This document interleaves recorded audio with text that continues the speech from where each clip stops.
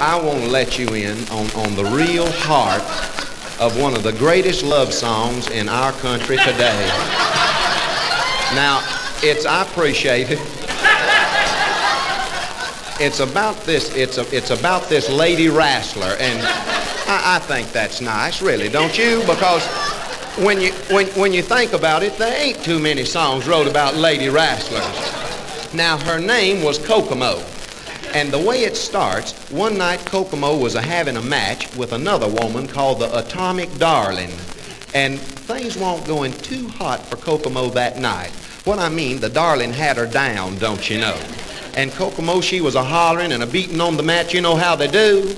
And the referee, a fellow named Quimley Lockjaw, he leaned over, he leaned over to see was Kokomo's shoulders touching the mat. And when he did, why, their eyes met. I mean, you know, they just seem to go for one another right off. And Kokomo, she says, talk to me, baby, whisper in my ear. Yeah, see, she don't care too much what he says, just so long as he comes over there close and says something sweet. Come a little closer, don't have no fear. See, what he's scared of is that she'll get a hold on him called the double under and over Indian leg breaker. And, well, you know you can't hardly get out of one of them. So he gets about three foot off and he says, Don't you know? Oh, I love you so. I don't you know? I say I love you so. And who we when he said that, there was a change come over Kokomo.